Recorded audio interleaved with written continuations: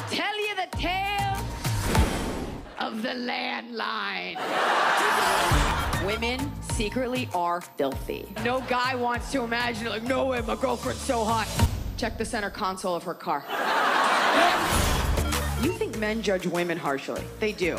But gentlemen, every molecule of your DNA, we go through it like scanning for physical abnormalities.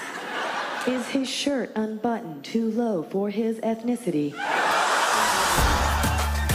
Are not used to dealing with rejection when it comes to sex. We're used to dealing with rejection when it comes to the idea of, I don't know, governing our own bodies, having our own thoughts, getting paid the same for the same job a man does.